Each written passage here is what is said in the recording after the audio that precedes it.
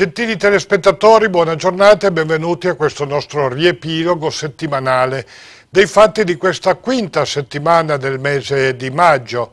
Quinta settimana perché la prima è stata a scavalco ovviamente, settimana che ha visto in conclusione le sentenze della Corte d'Appello del Tribunale di Torino per il secondo troncone del processo Minotauro. Vediamone. La Corte, presieduta dal giudice Paola Perrone, ha inflitto complessivamente 45 condanne e 25 assoluzioni contro le 36 condanne del processo di primo grado. Vediamole allora le condanne nel dettaglio, nome per nome. Nicodemo Agostino, 8 anni, Domenico Agresta, 5 anni, Cosimo Arena, 8 anni e 6 mesi, Vincenzo Argirò, 17 anni e 3 mesi, Roberto Barbera, 1 anno e 8 mesi, Vittorio Bartesaghi, 3 anni, Antonino Battaglia, 3 anni e 5 anni di interdizione dai pubblici uffici, Achille Berardi, assoluzione, Giuseppe Camarda, assoluzione, Maurizio Carpentieri, assoluzione, Antonio Carrozza, 6 anni, Cosimo Catalano, assolto, Vincenzo Catalano, assolto, Antonio Rocco Certomà, assolto, Vincenzo Ciano, assolto, Vincenzo Commisso, assolto, Nevio Coral, 8 anni, Gaetano Cortese, 5 anni, Rocco D'Agostino, assolto, Saverio De Marte, assolto, Salvatore De Masi, 12 anni, Francesco Di Reda, due anni e quattro mesi. Vincenzo Antonio Fazzari, assolto. Vincenzo Femia, sei anni e sei mesi. Angelo Giglio, assolto. Luigina Gigliotti, assolta. Domenico Guarneri, cinque anni. Giuseppe Idotta, sei anni. Nicodemo Gentile, cinque anni e sei mesi. Valerio Ierardi, un anno e dieci mesi. Nicola Iervasi, 5 anni. Giorgio Liporace Cotroneo, assolto. Franco Losurdo, 3 anni e 3 mesi. Maria Losurdo, 1 anno e 8 mesi. Giovanni Macri, 3 anni. Nicola Macrina, 9 anni. Domenico Mangone, assolto. Giuseppe Mangone, assolto. Antonio Marando, assolto. Rosario Marando, 4 anni. Giuseppe Mastromatteo, due anni e due mesi, Stefano Modafferi, sette anni, Francesco Napoli, otto anni e sei mesi, Gaetano Napoli, assolto, Girolamo Napoli, sette anni, Rocco Antonio Napoli, assolto, Rocco Napoli, cinque anni, Saverio Napoli, dodici anni, Aldo Nigro, assolto, Giuseppe Nirta, tre anni e otto mesi, Antonino Occhiuto, due anni e otto mesi. Antonio Pagliuso, tre anni. Antonio Papalia, sette anni. Fabio Pietra, assolto. Vito Pollifroni, cinque anni e sei mesi. Domenico Portolesi, sette anni. Benvenuto Praticò, tredici anni. Mattia Ragusa, un anno e otto mesi. Bruno Raschillà, sette anni. Stella Raso, due anni e nove mesi. Antonio Romano, 7 anni, Natale Romeo, 10 anni, Massimo Troiano, 2 anni, Bruno Trunfio, 7 anni, Giovanni Turrà, assolto, Francesco Ursino, assolto, Giovanni Vadalà, 7 anni e 4 mesi, Antonino Versaci, assolto, Marco Zingarelli, 2 anni e 2 mesi. Queste le sentenze della Corte d'Appello. E poi tanti fatti di cronaca, tentato di travolgere con l'auto un gruppo di giovani dopo una lite in una discoteca di Ivrea in Corso Vercelli al Tweed una decina i feriti, per fortuna non grave. Emanuele Bosio, 41 anni di Cascinette, è stato arrestato per tentato omicidio plurimo e il suo arresto è stato poi confermato dai giudici. I feriti, tutti fra i 20 e i 35 anni, erano stati medicati in ospedale eh, con una prognosi massima di 15 giorni. Lui ha detto di averlo fatto per difendersi e per difendere un amico perché era stato aggredito e cercava di scappare. E poi ci sarebbero pochi dubbi sulle responsabilità delle maestre d'asilo accusate di maltrattamenti nei confronti dei bambini dell'asilo nido comunale Papa Cervi di via San Martino a Settimo Torinese. Gli episodi sarebbero infatti documentati da riprese video girate all'interno dell'asilo. Due delle maestre sono di Settimo, la terza è residente a Venaria sarebbero una decina i casi di maltrattamenti documentati. Gli inquirenti hanno anche raccolto le testimonianze di una quarantina di eh, genitori. Secondo l'accusa le tre insegnanti avrebbero creato eh, tra i bambini che frequentano la loro sezione un clima di paura e di stress. Un uomo di 59 anni si è tolto la vita invece a Busano nella sua abitazione in centro, si è chiuso in casa, prima ha messo sul balcone il cane per salvarlo, poi ha staccato la corrente elettrica per non coinvolgere gli alloggi vicini, alla fine ha aperto il gas e si è lasciato morire. Cinque anni di reclusione, la richiesta del PM Patrizia Caputo nei confronti di Daniela Cecchetto, 42 anni, accusata di peculato per aver sottratto complessivamente un milione di euro ai comuni di Casalborgone e Monteu d'Apò, di cui seguiva la contabilità. Hanno tra i 12 e i 15 anni i ragazzi che invece non hanno trovato di meglio da fare in questa settimana che spaccare panchine di un parco giochi a Foglizzo. Due sono di Mazzè, mentre il più grande, diciamo il capo della baby gang di Novara ma le segnalazioni dei cittadini hanno permesso ai carabinieri di rintracciarli. Non sono i soli però, all'ENI i carabinieri in settimana hanno individuato e denunciato un gruppetto di teppisti, composti per lo più da maggiorenni, 18-19 anni, e da quattro minorenni, 16 e 17 anni, tutti residenti nella zona, avevano sfondato, lasciando blocchi di porfido, la vetrata di un esercizio e la porta d'ingresso di un condominio. Qui ad incastrarli sono state le videocamere di sorveglianza. Un arresto e tre denunce invece, questo è il bilancio dell'incursione di un gruppo di romeni nel negozio Euronis di banchette, colpo fallito a Castellamonte dove ignoti hanno tentato di sradicare il bancomat di eh, Piazza Matteotti dell'Unicredit Bank, un ventottenne originario di Chivas è stato denunciato dalla polizia per aver truffato due anziani col trucco dell'acqua al mercurio. 40 tombe danneggiate, 20 kg di caditoie di rame e diversi vasi in bronzo rubati. Il bilancio invece dell'ennesimo raid, questa volta avvenuto nel cimitero di Caselle. Si è conclusa poi con l'ammissione di tutte le parti civili l'udienza preliminare ad Ivrea per le morti da amianto alla Olivetti. Il GUP ha accolto le richieste tra gli altri della FIOM CGL di alcuni comuni, tra cui Scarmagno. L'udienza, nella quale verrà eh, discusso l'eventuale rinvio a giudizio dei 28, 28 imputati, è stata aggiornata al 23 settembre. Nuovi guai invece per la Yes Smoke di Settimo Torinese, la fabbrica di sigarette Made in Italy.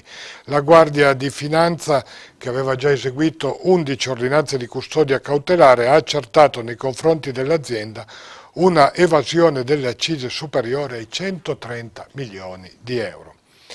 Si è risolta invece in poche ore la questione del furto del furgone con cui la Galleria della Locomozione Storica trasporta le proprie auto. È stato rubato e a bordo c'era anche una torpedo del 1914. Prima è stata trovata l'auto storica, ovviamente non eh, vendibile sul mercato, in eh, località Vercellino di Rivarola e poi poche ore dopo è stato ritrovato anche il furgone nelle campagne di Salassa. Finisce in tribunale la vicenda eh, che vede contrapposto il sindaco di Favria e eh, invece i gestori del circo, che avrebbe il circo di Vienna, che avrebbe dovuto sostare a Favria, ma il sindaco ha detto di no. Gli animalisti esultavano, ma il sindaco ha spiegato non è una questione etica. L'ultimo circo arrivato a Favria eh, con i suoi eh, tiranti, con le sue attrezzature, ha completamente rovinato l'asfalto che poi ha dovuto rifare il comune e il comune non vuole più spendere soldi per queste cose. Castellamonte poi in questa settimana ha dato l'ultimo saluto alla partigiana Luigina Trione. Gina aveva 88 anni. Fin qui la cronaca, ma la cronaca, quella fortunatamente rosa, lo possiamo dire davvero, questa settimana ci porta il Giro d'Italia per la quarta volta, per il quarto anno consecutivo.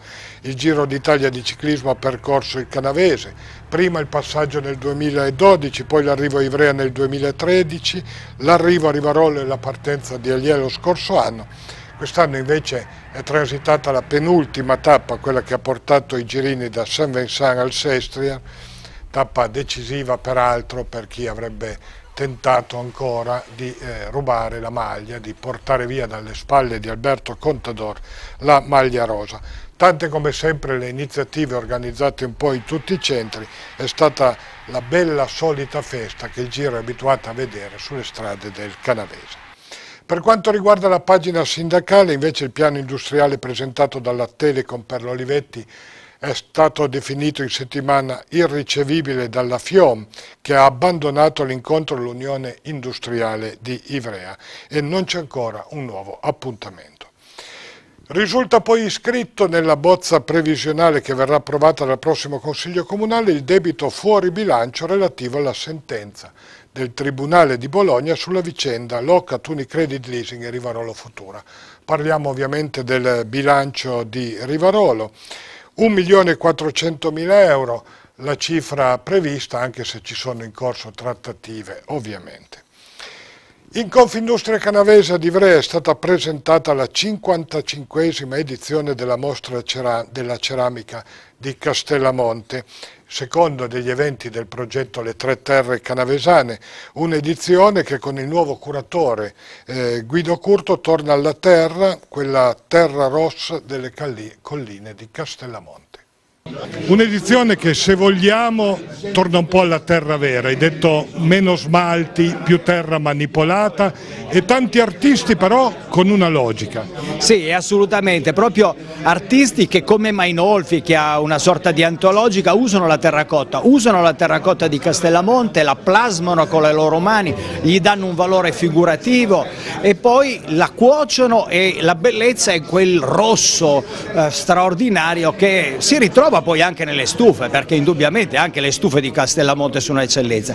Poi tanti altri artisti insieme a Mainolfi, Matano, Giovanni Matano che ha studiato con Mainolfi all'Accademia di Belle Arti di Napoli, ma da tanti tanti anni vive a Castellamonte, ha insegnato nelle scuole, al liceo, all'istitutorati Castellamonte. Luigi Stoisa, artiste donne come Luisa Valentini, come Jessica Carol e anche dei giovani come il rumeno Radurata che ha studiato all'Accademia Albertina, ma insomma ha dato lustro alla cultura rumena. Più tutti gli artisti di Castellamonte che avranno un loro spazio al centro espositivo del Martinetti. Quindi la mostra è divisa diciamo, in tre sedi, il Palazzo Botton con la mostra Hac Principio Terra Universa di Mainolfi e le terre differenti di altri dieci artisti intorno a lui, il centro Martinetti con la mostra di quasi 30 artisti di Castellamonte che lavorano con la ceramica, più le stufe, più addirittura oggetti anche di design. Poi il liceo artistico, il liceo artistico Faccio dove a cura del maestro e direttore Ennio Lutigliano ci sarà una mostra più ampia non solo di ceramiche ma anche di opere d'arte realizzate dai docenti artisti e dagli stessi ragazzi, gli stessi studenti. Comune di Chivasso invece capofila del progetto Sovraesposizione che grazie anche all'Italian Train Experience mira a valorizzare quelli che vengono definiti giacimenti enogastronomici e turistici del territorio. Sovraesposizione per un territorio come Chivasso che è strategico fra Torino e Milano con l'Expo, ma che soprattutto scopre quanto è bello mettersi insieme e quanto è bello scoprire quanto questo territorio vale.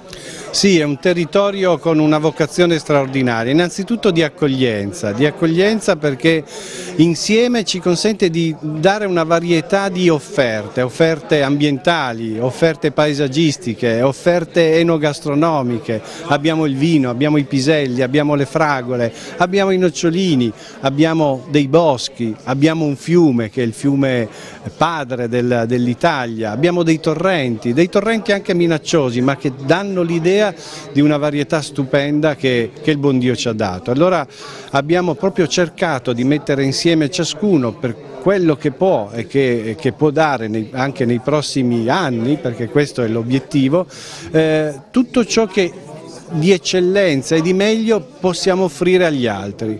Nel modo nostro, che è un modo sabaudo, un modo tranquillo ma fermo e tenace e questo vogliamo farlo a partire da questa opportunità che è straordinaria di esposizione mediatica eh, che ci consente di eh, avere Expo e quindi collegarci a questo progetto altrettanto straordinario di valenza internazionale oltre che nazionale che è Italian eh, Train Experience. Questo ci consentirà quindi di aprire le nostre porte attraverso la tecnologia ma soprattutto attraverso le radici forti che sono il nostro territorio. Un progetto che fa del territorio un valore perché questo è un territorio che comunque vale di suo. Sì, assolutamente sì. Noi abbiamo voluto proprio ragionare a livello territoriale, non creare un appuntamento per Chivasso, perché crediamo che sia veramente importante valorizzare il nostro territorio, un territorio che ha molto da dare, molto da raccontare in termini di storia, in termini di attività produttive che ci sono e in termini di risorse che comunque sono visibili a tutti e a disposizione di tutti. Abbiamo proprio voluto puntare su questo, sul nostro territorio, la, la, la città allargata, Chivasso come, come territorio area vasta che si sposta dalle colline del Monferrato fino al Basso Canavese. È difficile riuscire a mettere insieme in un periodo di risorse scarse iniziative come queste? È molto difficile, molto difficile perché appunto le risorse sono, sono, decisamente ridotte e quindi anche molti comuni che sono partiti entusiasti di questa progettualità, comuni che avrebbero effettivamente dovuto essere assolutamente al fianco di Chivasso in questo, in questo momento, purtroppo non sono riusciti a, a partecipare. Però crediamo che sia importante per un comune che vuole essere capofila di un territorio sforzarsi, tirare fuori le risorse magari per essere pioniere di un progetto che sicuramente avrà poi un ampio respiro nel tempo. Sovraesposizione è un'idea ma è soprattutto la voglia di mettere in gioco un territorio. È una scommessa quella di credere che anche i territori considerati minori, non siamo nelle Langhe, non siamo nel Roero, non siamo eh, in paesi, luoghi che sono ormai noti a livello internazionale, ma questo non ci deve spaventare perché dalla conoscenza che, che ho avuto modo di approfondire in questi eh, pochi mesi mi sono reso conto che c'è una realtà interessante fatta di produttori, di realtà che accolgono, di ristoratori che eh, se opportunamente orientati e sollecitati e soprattutto resi visibili, da qua il, il titolo della manifestazione, si tratta di sovraesporre, di rendere visibili, di rendere molto visibili realtà eh, di assoluto pregio e di assoluta qualità. Lo faremo attraverso una manifestazione che si svolgerà il 4 e il 5 di luglio nel centro di Chivasso sotto i portici via Torino, nel palazzo comunale, attraverso un concorso gastronomico che porterà a Chivasso otto chef di, di pregio e una decina di giornalisti locali della stampa nazionale esperti in enogastronomia e turismo, che valuteranno gli chef e soprattutto faranno un po' da eco mediatico su tutto quello che saranno i prodotti di questo paniere, di quest'area del Chivassese. Si è concluso anche il torneo di maggio alla corte di Re Arduino, vediamo le immagini, il paglio dei borghi è andato per la cronaca al Borgo San Rocco, ma per Re Arduino e la Regina Berta è stato un torneo amaro, nonostante la grande affluenza di pubblico e l'entusiasmo che li ha sostenuti. Nella notte fra sabato e domenica della scorsa settimana, quando la festa impazzava nel centro di Quarnier, ignoti si sono introdotti nelle loro abitazioni dove hanno agito indisturbati. Un colpo quasi simultaneo, hanno preso tutto quello che hanno trovato, oggetti preziosi, denaro, computer, macchine fotografiche, insomma hanno fatto una vera e propria razzia. E poi si sono presentati in tanti ragazzi fra i 12 e i 14 anni al casting a Villa Vallero di Rivarolo per il film I Cormorani. Casting a Villa Vallero per un film e gli attori saranno giovanissimi. Come vi è venuta questa idea? Ma diciamo che l'idea è venuta, eh, io ho vissuto tanti anni all'estero e quando ero all'estero tornavo qui d'estate mi immaginavo eh, rivivevo le sensazioni che, che avevo vissuto nell'adolescenza E l'idea è nata un po' così, l'idea è nata, il primo spunto per l'idea è stato un anno alla festa di Sant'Anna a Rivarolo. Eh, osservavo due ragazzini che stavano guardando questa festa in quell'età eh, che va dall'infanzia all'adolescenza, quindi quel passaggio delicatissimo. E, e li guardavo e loro guardavano la gente che stava ballando all'interno del, al mezzo alla pista e, guarda, e, li prendevano un po' in giro, prendevano un po' in giro gli adulti e poi alla fine sono entrati a ballare e da quest'idea è cominciato un processo di, di rivisitazione dei luoghi del, dell'infanzia e, e da lì è nata l'idea. Il film Cormorani sarà girato tutto in canavese, sarà girato con questi ragazzi, non svegliamo troppo, ma comunque sarà una storia di ragazzi, del loro vissuto. Esatto, una, una, cosa fondamentale, mm, parlando anche con i produttori del film, era che i ragazzi fossero di qua, avessero, vivessero nella zona. Eh, diciamo che è molto importante il legame che lega i ragazzi al canavese. E, I ragazzi sono di qua, la storia è ambientata nelle zone intorno a Rivarolo, Bosconero, Feletto e, e appunto è il racconto di un'estate eh, un'estate un po' sospesa nel tempo, no? un'estate, quelle estati magiche che ci ricordiamo eh, quando finiscono le medie, comincia la prima superiore, non si sa bene qual è il futuro, il corpo cambia, cambiano gli interessi, eh, c'è ancora voglia di giocare però c'è già curiosità per quello che, che ti circonda e questi sono, diciamo sono i temi fondamentali che mi sembrano i più interessanti da, da scoprire nel film. Il film ha una parte documentar di documentario molto forte, c'è uno studio sul territorio, sul, sul, sui ragazzi di qua molto forte che appunto anche attraverso i casting stiamo un po' portando avanti. Sarà un film per ricordare o sarà un film di attualità che porterà i giovani a capirsi anche meglio? Diciamo che un po' tutte e due, c'è una parte eh, autobiografica eh, per quello che riguarda i miei ricordi, che però diciamo è passata in secondo piano rispetto poi all'evolversi della storia del film. E il film è, è ambientato nell'attualità e quello che mi interessava è eh, prendere spunto dal, dalla, dalle mie idee, dai miei ricordi da quelli che poi diventano col passare degli anni, col crescendo, diventano ricordi universali, no? queste estati che abbiamo visto tante volte nei film, abbiamo letto nei romanzi, quindi tutti questi elementi però portati a due ragazzi di oggi, che quindi sono un mondo da scoprire, no? sono una generazione che cambiano così in fretta e, e questo è diciamo che è il conflitto, quello che mi interessava del film, cioè da una parte la parte autobiografica di ricordi, di, di immaginario collettivo e dall'altra parte due, persone, due, personaggi reali all'interno di queste situazioni così immaginate. Porteremo questi giovani che soggiano ai paesi tropicali ad Orco Beach, che non sanno forse che cos'è, ma eh, ti sei chiesto sarà, come sarà lavorare con questi ragazzi che sono molto giovani e non professionisti? Beh, sono sicurissimo che sarà un'esperienza favolosa, lo stiamo già vedendo nei casting, Ogni, ognuno di, di, dei candidati è un mondo, è un film diverso, è un mondo, ha un suo mondo che sarebbe bello poter raccontare, chiaramente è impossibile, sono, sono, tanti. E, una diciamo, delle sfide del film è appunto lavorare con ragazzi non professionisti, perché ricerchiamo quel, quello spunto di realtà eh, all'interno del film, no? quella, quella, cosa della cattura del, del momento reale che, che penso possa essere uno dei valori più importanti del film. Un film che peraltro si farà con il contributo e con l'avvallo della Film Commission, quindi un'opera importante. Esatto, per il momento abbiamo ricevuto eh, una linea di finanziamento dalla, da parte della Regione Piemonte, eh, abbiamo vinto il bando per lo sviluppo eh, del Doc Film Found, che è un fondo regionale per lo sviluppo di documentari, e e questa è stata chiaramente un, una spinta ulteriore a portare avanti la produzione del film. È una produzione molto particolare, cioè non, non è una produzione classica eh, dove c'è una sceneggiatura, dove, dove tutte le scene vengono girate una dopo l'altra magari neanche in ordine. Infatti abbiamo un periodo di ripresa molto ampio da giugno a settembre e questo ci permetterà di lavorare con la sceneggiatura direttamente mentre stiamo girando, cioè sarà un, un, un film in continua evoluzione e chiaramente abbiamo eh, stabilito dei tempi in cui poter ripensare a quello che abbiamo girato e poter scegliere una delle strade che si apriranno durante le riprese del film.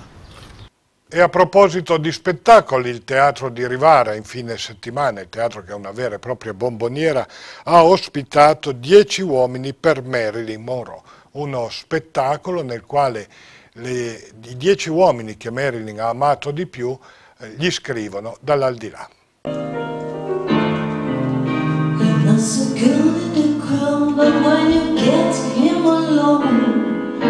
you'd be surprised. Uno spettacolo, uno spettacolo teatrale presentato anche a Rivara che però fa parte di un progetto. Partiamo dallo spettacolo. Lo spettacolo si intitola Dieci uomini per Marilyn, è tratto da un libro scritto a quattro mani con un medico scrittore che si chiama Enrico Monti e parla dei dieci uomini più amati da Marilyn Monroe che, si tras che trascrivono dall'aldilà delle piccole lettere d'amore per confessare tutto il bene che hanno voluto a questa grande diva, con, senza più le inibizioni e i freni inibitori del periodo e quindi raccontando la verità, verità anche scomode come quelle della, sulla morte di Merlin. È uno spettacolo rigoroso oppure c'è della fantasia? Beh, io tra gli autori di questo, di questo, libro dico che non c'è nessuna fantasia, perché su di lei sono stati scritti tanti libri, però questo racconta tra le righe tutta la verità, quindi direi che è proprio tutto reale, soltanto raccontato in forma di lettera d'amore, quindi sembra tutta una favola. Com'è interpretarla invece poi sul palcoscenico?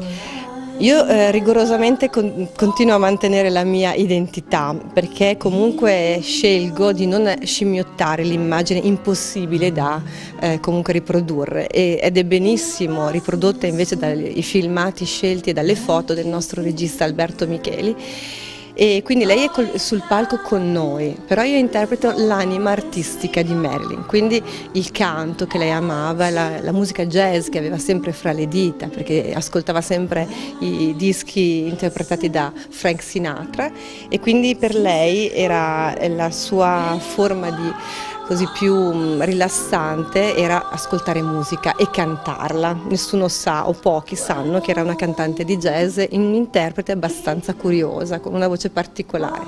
Quindi io sono l'anima artistica di Marilyn, non lei. It will be forever.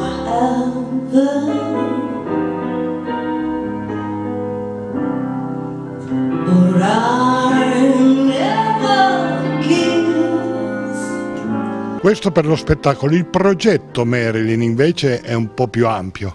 Il progetto Marilyn è parlare della diva sotto forma di diverse arti, pittorica, infatti un nostro saxofonista è anche un bravissimo pittore che ritrae in modo diverso da tutte le foto viste da tutti gli altri pittori eh, questa diva e quindi portiamo con noi anche una mostra eh, oppure ecco, la vediamo dal punto di vista dell'abbigliamento, ho creato abiti, eh, visto che disegno anche degli abiti, che ricordano anche quello, alcuni film, però non sono esattamente quelli di Marilyn, però ricordano, ecco, questa cosa è un ricordo attraverso le forme, forse forme diciamo proprio dell'arte di Marilyn, oppure anche scrivere su di lei anche altre cose come canzoni in quanto abbiamo scritto insieme ai miei musicisti, io i testi e loro le musiche, di nuove canzoni in italiano, quindi raccontandola anche attraverso non solo canzoni in inglese, che sono quelli che lei interpretava nei film, ma anche brani inediti